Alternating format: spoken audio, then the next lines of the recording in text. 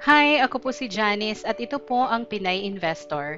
Gusto mo bang malaman kung magkano pa ang iyong SSS loan balance? At gusto mo rin bang makita ang inyong statement of account para makita nyo yung details ng inyong previous SSS salary loan? Sa video po na ito, ayan po ang ipapakita ko at ituturo ko kung papaano po natin ma-access or ma-view yung ating statement of account at SSS loan balance online. Okay, so ang una natin gagawin ay punta tayo sa SSS website na makikita sa sss.gov.ph. So once na nandito na po tayo sa page na to, i-click po natin itong box na nagsasabing I'm not a robot. Ito po ay isang security feature ng SSS. So click po natin yan at click po natin yung submit. Dito naman, kung kayo po ay nagla-login bilang uh, member, i-click nyo lang po yung member. Dito naman sa member login, i-type po natin ang user ID at password. So kung wala pa po kayong SSS online account, kailangan nyo po munang mag-register. Pwede nyo po itong i-click dito at sundan nyo lamang po yung mga instructions para makapag-register kayo sa SSS online.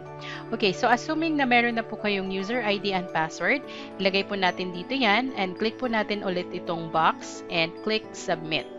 Kung nakalimutan nyo naman yung user ID or password, i-click nyo lang po itong link.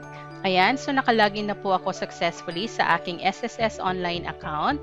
Ngayon naman ay ipapakita ko kung paano natin mahahanap yung ating SSS loan balance. So mula dito po sa dashboard, i-click po natin ang inquiry. So ito po, inquiry. And dito po sa pangatlong uh, option, meron ditong nakalagay loans info. Kung nakita nyo yung aking naunang video last week, na-access natin or nakita natin kung meron pa tayong balance sa SSS or loan balance sa pamamagitan ng pagpunta sa e-services and uh, kinlik natin yung apply for salary loan.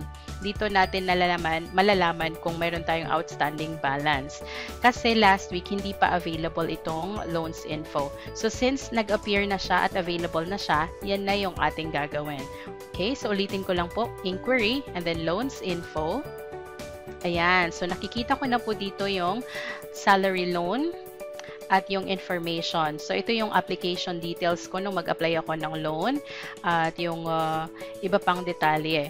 Dito naman sa baba, nandito yung list of availed loans. So, meron ditong date kung kailan ko in-avail yung loan at uh, meron din ditong nakalagay na salary loan nung mag-apply ng LRP or Loan Restructuring Program. Ito po yung installment sa natitirang loan balance na hindi na po, na winave po yung yung um, penalties and interest.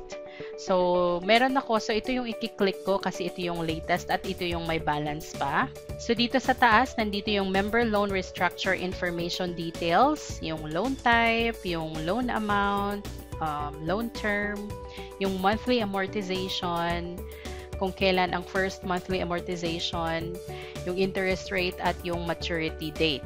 Okay, so nandito po yan sa taas. Scroll down natin yung page para makita natin yung iba pang details sa baba. Dito naman sa baba, nandito yung statement of account for loan account number. So ito po yung loan na in-apply nyo. So may nakalagay dito yung past due kung meron kayong past due or uh, na-delayed ang payment nyo sa loan na to. Nandito nakalagay yung principal, yung interest rate at yung penalty kung meron man. Tapos nakalagay din yung total amount due, including the principal, the interest, and the penalty. And uh, makikita nyo rin dito yung total amount of obligation. Ito yung kailangan nyong bayaran.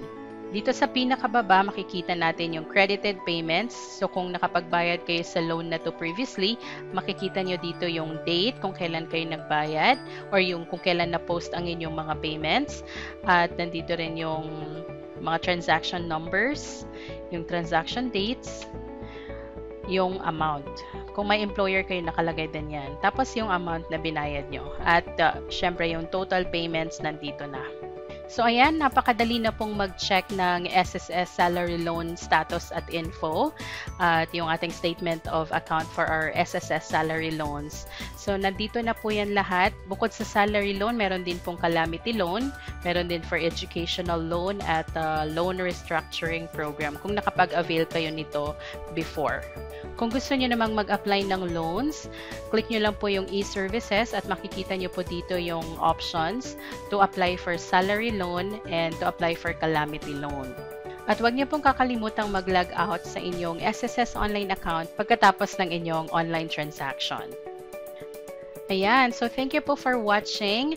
Kung nakatulong sa inyo yung video na to, please like, comment, and subscribe to my channel, Pinay Investor, and paki-visit na rin po ang aking blog sa thepinayinvestor.com.